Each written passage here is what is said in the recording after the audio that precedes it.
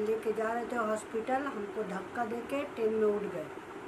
और उस टाइम से नहीं मिल रहे। हम लोग पूरा सियालदा बजगज सब तरफ़ खोजा। मतलब कितना दिन पहले का बात है ये?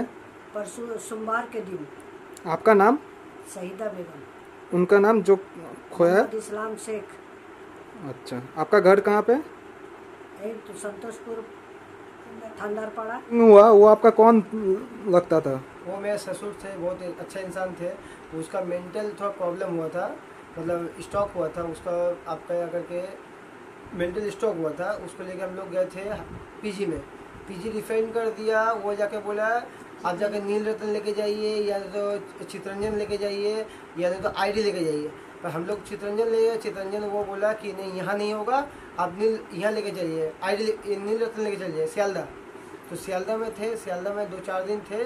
सियालदा बोला कि ये ऑपरेशन करना इम्पॉसिबल होगा, क्योंकि इम्पॉस ऑपरेशन करेंगे तो वो डेट कर जाएगा।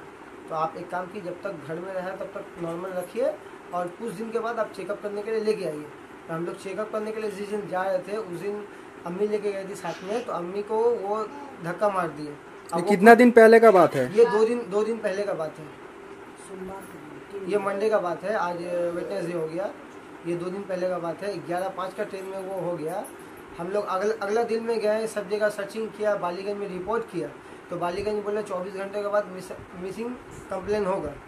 तो मिसिंग कंप्लेन करने के लिए हम लोग गए तो वो बोला कि वो उसके पास जाओ महेश तला जाओ वहाँ जाओ। तो भी कोई रिपोर्ट लेना नहीं चाह रहा था। लेना नहीं चाहे तो भी लिया। तो बोले ये सी बी आई के अंडर हम लोग कर दिए। अच्छा उसके बाद मतलब कहाँ कहाँ पे स्टेप लिए? थाना में गए थे? थाना में गए महेशतला में गए सियालदा भी गए बालीगंज में गए सब जगह गए बेज बीच में गए। आपका नाम? मेरा नाम इम्तियाज़ हुसैन। मेरे अबू हराग ये है, ये संतोषपुर स्टेशन से। और हम लोग कोशिश कर रहे हैं कि आप लोग खोज करके निकालिए। और मेरी अम्मी लेके गई थी ग्यारह पाँच का ट्रेन में। और हम लोग जा रहे थे, उनको ग्यारह चालीस में हम लोग, अम्मी को बोले हम लोग आ रहे हैं, कपड़ा चेंज करके आप लेके बैठिए स्टेशन में। वो बैठी रही, वो का किया, अब्बू ग्यारह पाँच का ट्रेन रुका। और वो अम्मी को धक्का मार के अपने ट्रेन में उठ गए। और उठने के बाद अम्मी रोते रोते गई बेस ब्रिज में बोला कि उन लोग को कि उतार देने, ट्रेन का आदमी लोग को। तो वो बोला कि ठीक है, उतार देंगे। फिर मेरी अम्मी बेस ब्रिज में गई।